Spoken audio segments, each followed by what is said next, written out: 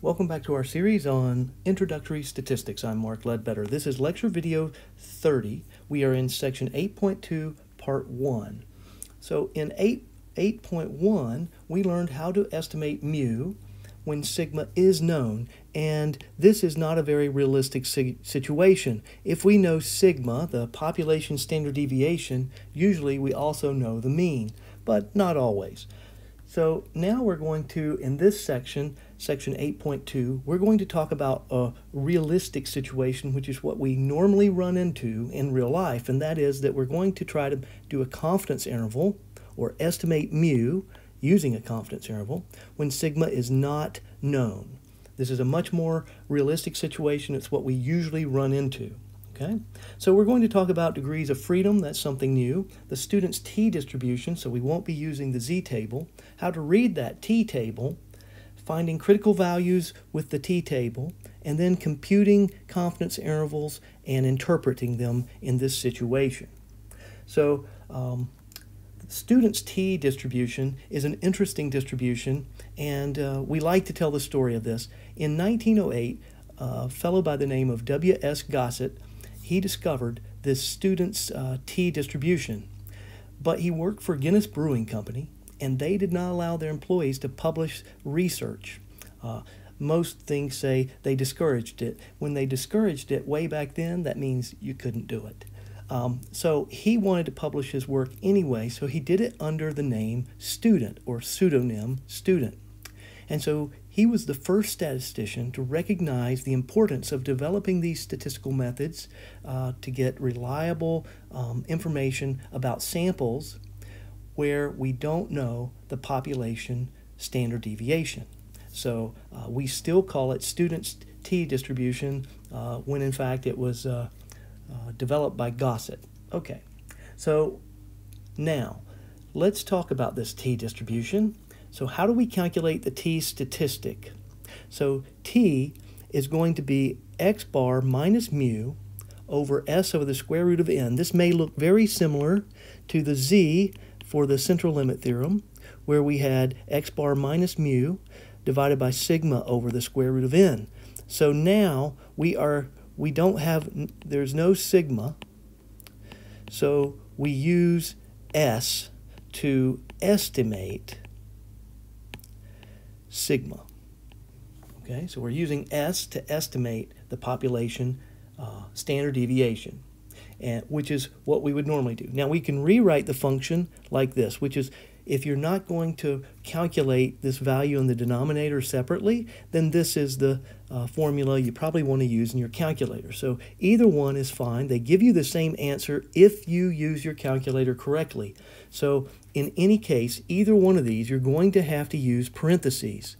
If you want this to show up in your calculator correctly, you'll do a parenthesis, then x bar minus mu, and then the divide by, and then a parentheses s divided by square root of n, end your parentheses. So in the calculator, this would be, oh, start with the parenthesis, and then x bar, that value, minus mu, that value, then divided by, and then another parenthesis, and then s, and then divide by the square root of n, and we close our parentheses. This is how you have to do it in your calculator to get the right value.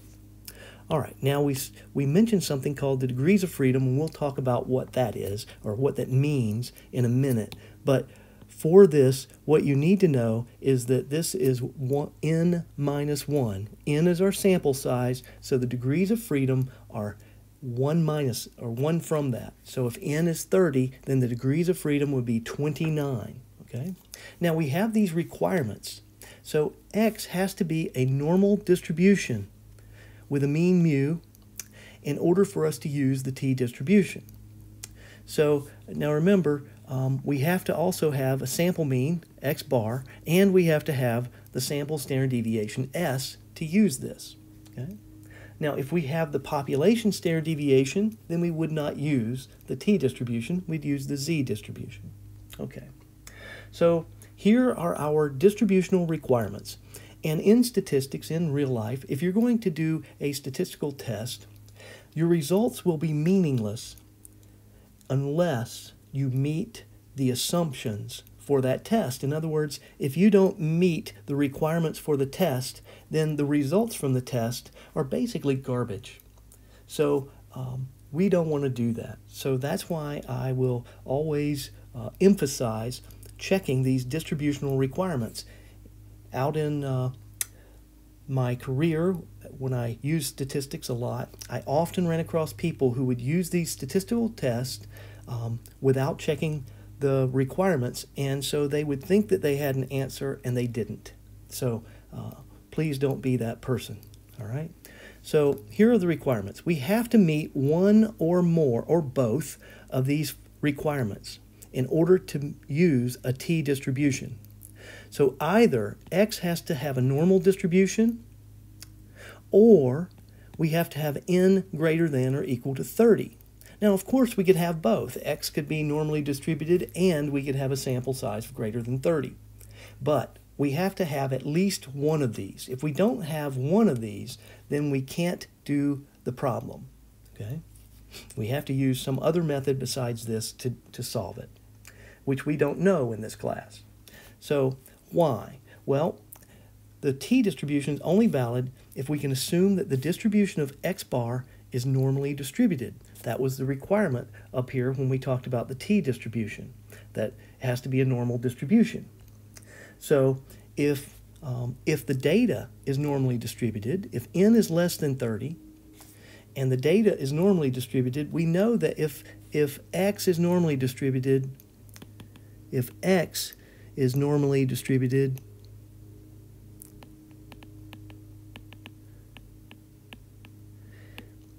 then x bar is also. Okay? Now that only works for the normal distribution. All right. Um, so, and so x bar, if x is normally distributed, then x bar is also normally distributed no matter what n is. So if n is less than 30, then we cannot use the central limit theorem because the central limit theorem, the, the rule is 30 or higher, right? So in order for x bar to be normally distributed, x has to also be normally distributed. So if the data is not normally distributed and n is less than 30, we can't do the problem. So 2, if n is 30 or more, then we can use the central limit theorem, which tells us that x bar is approximately normally distributed. So let's summarize this. If the sam so for the sample size, n, if n is less than 30, in order to use t, x has to also be normally distributed. Okay? So that's for n less than 30. If n is greater than or equal to 30, then x can have any distribution as long as it uh, meets the requirements of having a mean and having a standard deviation. So, um, so that would be because of the CLT, the central limit theorem. Now, let's talk about some examples of whether or not we can use t. So the first one says we have a simple random sample. That is what we need, simple random sample. I use, and lots of students like to use SRS, capital letters, for simple random sample. And so I have a simple random sample of size n equals 15, and these are cats. Well, I love cats, so that's a good thing for me. If you don't like cats, pretend I said dogs or something. All right, we measure the amount of food each cat consumes in a day. And I left out my n there amount. So we, we measure that and we measure it in grams, so the weight. So the average amount eaten for our uh, eaten in a day for our data is given as x bar equals 62 grams and the standard deviation is 9.0 grams. And this is from our sample of n equal 15 cats. Can we use t? No. n is less than 30 and it does not say the data is normally distributed. Okay? So if it's not in the problem, then if it doesn't actually say normally distributed and n is not at least 30, then no, you cannot use the t distribution here. So you couldn't do this problem with the methods we are going to learn in this introductory class. Now, let's look at number two. We take a simple random sample of n equals 40 birds, and specifically cardinals, and we measure their weight. And the sample data comes back as x bar equals 1.7 ounces and s is equal to 0.3 ounces. Can we use the t distribution? And the answer is yes, because n is at least 30. You notice it doesn't say anything about normally distributed, but we don't have to if n is at least 30. Now, number three, the heights of women are known to be normally distributed. We obtain a simple random sample of n equals 11 women. We have x bar equals 63.7 inches and s equals 1.9 inches. Can we use the t distribution? And the answer is yes, because the data is normally distributed. So even though n is less than 30, because it says normally distributed, we can use the t distribution. All right, I hope that helps you uh, understand when we can and cannot use uh, the t distribution.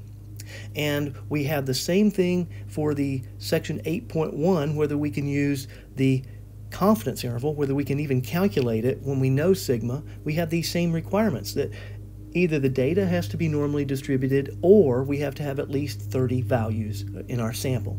Okay, so that's enough for this video. Please remember to scan your lecture notes before midnight of the date listed on the course calendar. If you have questions, please come to virtual office hours. If you can't do that, email me, but you need to send me two things. First, you need to send me a picture of your work so that I can see um, what your thought is and how you're approaching the problem. The second thing I need is a picture of the problem because I don't have these all memorized. So if you send me those two things, then I can help you quickly through email. I hope you will take care of yourself, stay safe, and we hope to see you next time.